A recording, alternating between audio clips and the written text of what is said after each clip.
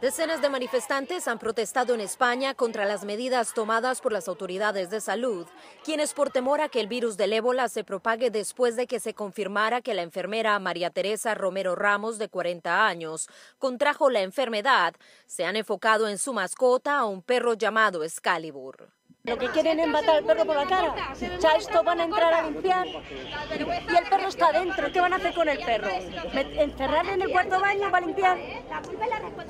Te van a matar por todo el morro.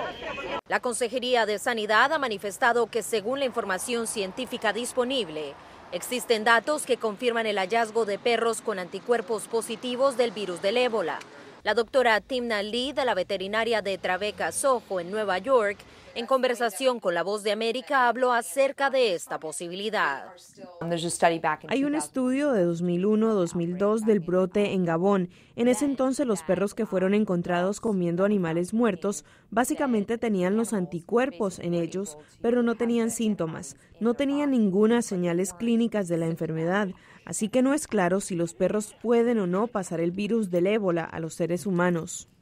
Y aunque no existe ninguna prueba contundente que relacione a los perros con este virus, el gobierno español ha emitido una orden para sacrificar al animal de la enfermera española, esto mientras su esposo hace lo posible para salvarlo. Estoy en el hospital y hago un llamamiento a toda la población para que me ayuden a salvar a mi perro Excalibur que lo quieren matar así por las buenas, sin seguir ningún procedimiento. Por su parte, la ministra de Sanidad española, Ana Mato, defendió el procedimiento implementado frente a esta crisis.